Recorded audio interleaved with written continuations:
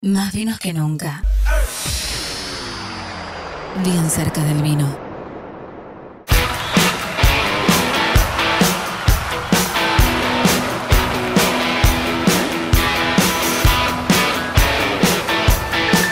Una gran noche de más vinos que nunca.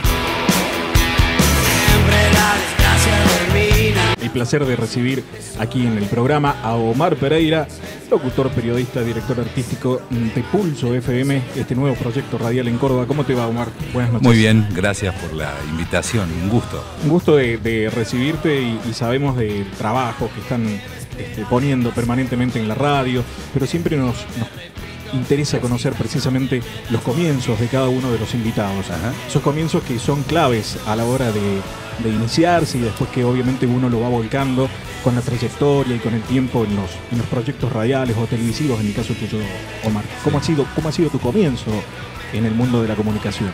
Eh, mi comienzo tuvo cosas medias impensadas, porque la verdad que lo mío, hasta gran parte del secundario, apuntaba a otra cuestión, Mm. apuntaba a la medicina. Doctor. sí.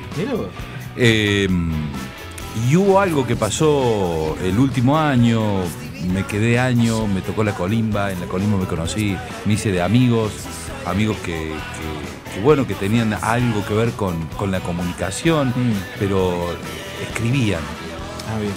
La cuestión es que no sé cómo terminé en la escuela de periodismo, mm, con 20 años, 22 años, eh, e, e ingresé pensando en que iba a ser gráfica.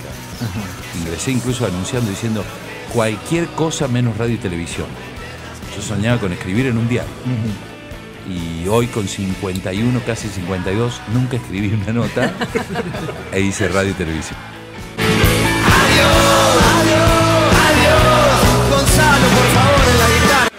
La maceración en, en frío es una cuestión de, de enfriarlo para, para obtener, el- primero en frío para que no haya fermentación.